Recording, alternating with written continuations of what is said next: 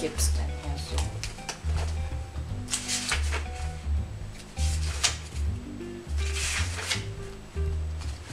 Herr Ober, was können Sie mir denn von der Tageskarte empfehlen? Da hätten wir einmal am Montag und am Donnerstag die Strategiespieltage mit Schlacht um Mittelerde, Man of War oder auch der Total War Reihe. Dann haben wir am Dienstag und am Freitag die äh, Rollenspieltage mit Surrey Need for Speed Most Wanted und dem European Truck Simulator Nummer 2. Dann haben wir die LPT-Tage mit am, die sind am Mittwoch und am Freitag mit Guild Wars 2 und auch Let's Battles von Man of War und anderen Strategiespielen. Aber es ist Sonntag. Ah, Sonntag ist Lava Classics Zeit. Dort könnt ihr aussuchen, welches Let's Play fortgesetzt wird. Alles weitere und die Abstimmung dazu findet ihr auf meiner Facebook-Seite. Ich nehme doch lieber einen Salat.